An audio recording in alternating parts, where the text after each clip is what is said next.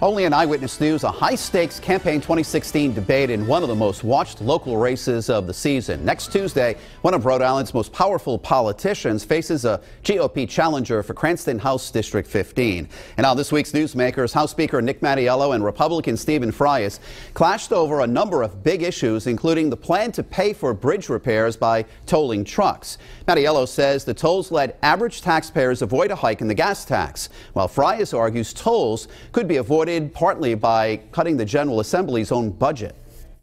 So that's where, how you would pay for it, because you have to control spending. The solution to Rhode Island's problem is not that the government didn't get enough money, it's that it doesn't spend its money wisely. 60% of our money is going to come from trucks that wear out our bridges, drive straight through, and never stop in Rhode Island. It's a good plan for the taxpayers. I don't understand why it's being criticized. WPRI.com reporter Ted Nesi will have more from the exclusive Newsmakers debate coming up at 6. First at 6 tonight, a high stakes debate in one of the most watched campaigns of the season, and you will see it only on Eyewitness News. In today's final installment of our Newsmakers debate series, House Speaker Nick Mattiello and Republican challenger Stephen Frias had a lively exchange as both men vie to win Cranston's House District 15 seat. Eyewitness News reporter Ted Nesi was one of the moderators, and he joins us now live with the exclusive details. Ted.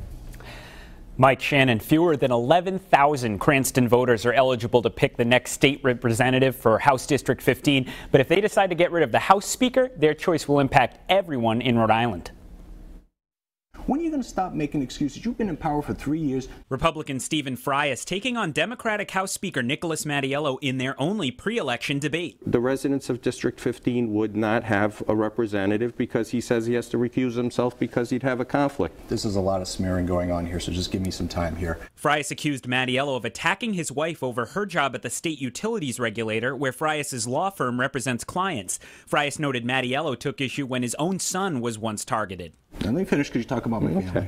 I didn't I've talk never about- talked I didn't you- talk about your I've never family. talked about your family. And for you to be that upset because your son was brought up, I was. as- okay? And then you're bringing up, you're campaigning, you right now bringing up my wife. No. You should be embarrassed for what No, you're doing. your wife is a fine person and she probably does a good job. I do recognize that that's fair. You never bring in people's family, but there is a conflict there. During the half-hour Newsmakers taping, the pair sparred over who's the best pick for conservative voters. Mattiello cited his NRA endorsement and support for tax cuts. Frias said he'll be better on ethics and good government. They also battled over Mattiello's recent commitment to kill the car tax. If I'm reelected, the car tax will be phased out within five years. If I am not, other government priorities will take, will take uh, priority, and the car tax won't get phased out. It's that simple. He's standing in the way for three years of cutting the car tax. And now when he's up for reelection, he's worried, and now he's going on. There's no public polling in this race, so we don't know who's got the lead, but this is one of the most Republican friendly districts in Rhode Island, so Frias clearly has a shot.